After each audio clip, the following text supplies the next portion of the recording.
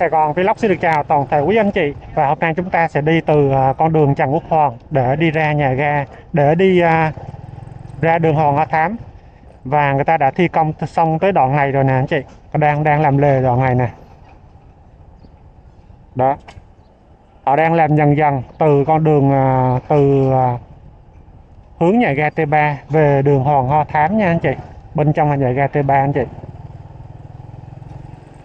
và cái đoạn này em đi rồi. Bây giờ em sẽ đi lại từ đoạn này để mà đi ra con đường Hoàng Hoa Thám nha.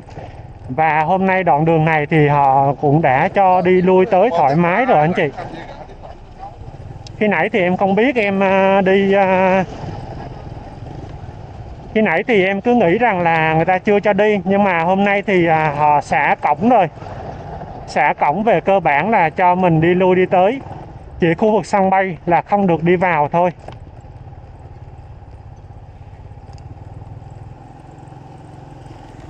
Bây giờ từ hướng này chúng ta sẽ đi ra con đường Hoàng Hoa Thám nha anh chị.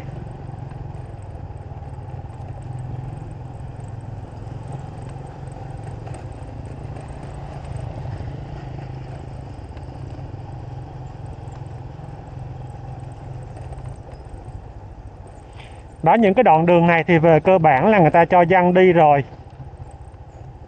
Dân đi tạm thôi anh chị. Đó, hôm nay họ xả cổng rồi. Đây là những lô đất tái định cư. Tái định cư tại chỗ. Tái định cư tại chỗ anh chị nha. Có nghĩa là tại quận, tại khu họ, nơi họ ở đó anh chị. Đây là những lô đất tái định cư dành cho 43 hộ dân nhưng mà cái khu này chỉ có đâu đó em thấy rằng là à, chắc là cũng đủ anh chị. Nếu tính là cái khu vực tôn á, là đã 30 mảnh rồi. 30 uh, à, gì? 30 mảnh đất rồi. Còn à, xuống dưới phần dưới kia nữa thì à, chắc là cũng sẽ đủ.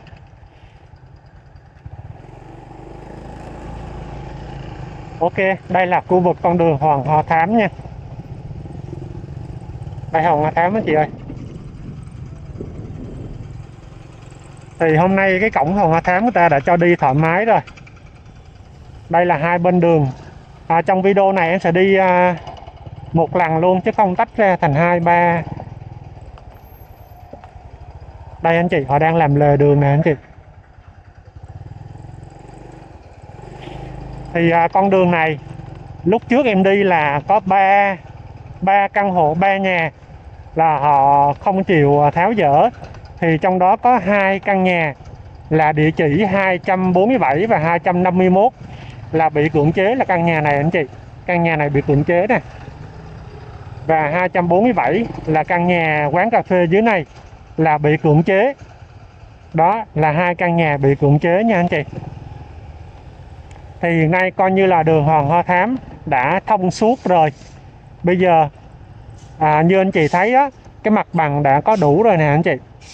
Đó người ta đã tiến hành sang lắp à, múc bớt những chỗ cao bỏ qua chỗ thấp. Coi như là về cơ bản bây giờ người dân đã đi lại thoải mái hơn đã đi lại thoải mái hơn nha anh chị. Và hai căn nhà 247 và 251 đã bị cưỡng chế. Và căn nhà này thì người ta tự tháo dỡ căn nhà này nè anh chị.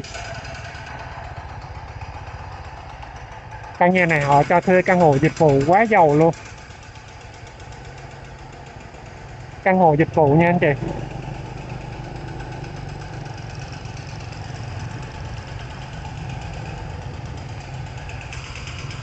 Và con đường này thì nay đang được thi công ngày đêm luôn anh chị. Đang được thi công ngày đêm.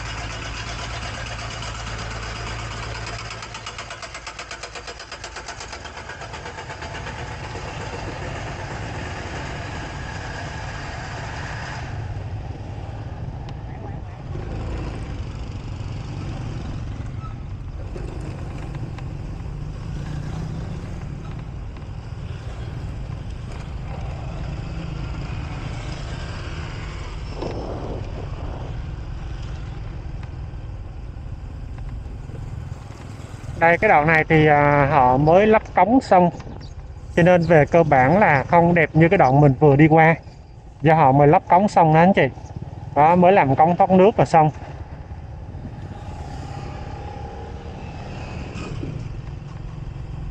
Cái đoạn này thì à, em đi ngắn hơn anh chị ha. Gói gọn trong vòng 10 phút.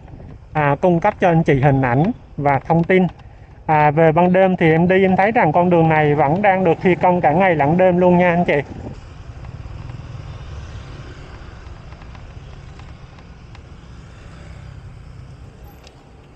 Đây là công thoát nước này anh chị.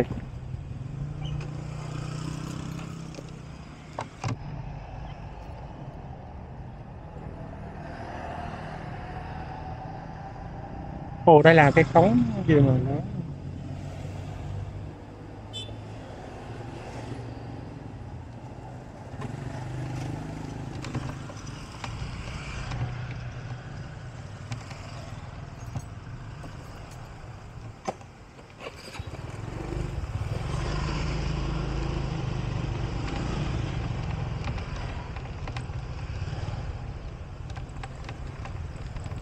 những căn nhà này họ sửa lại.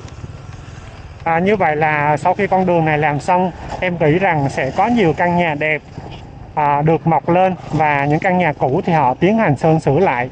Con đường này sẽ khang trang và đẹp anh chị ha. Đây là một cái mặt tiền. Đây là một cái mặt tiền mà họ phải tiến hành đập bớt đi anh chị. Đập đi rất là nhiều đó. Đập đập đi rất là nhiều.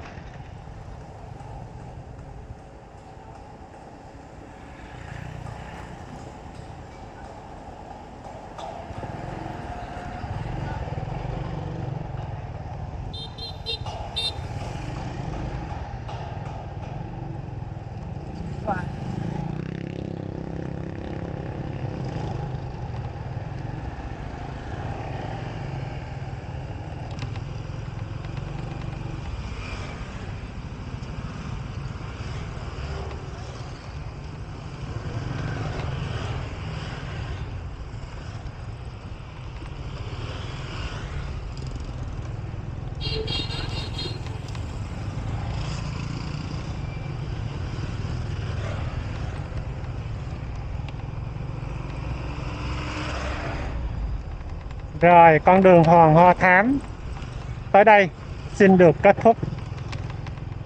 À nghĩ là Hoàng Hoa Thám họ thi công qua bên kia luôn anh chị nha. Họ thi công qua bên kia đoạn đường bên chợ Hoàng Hoa Thám luôn.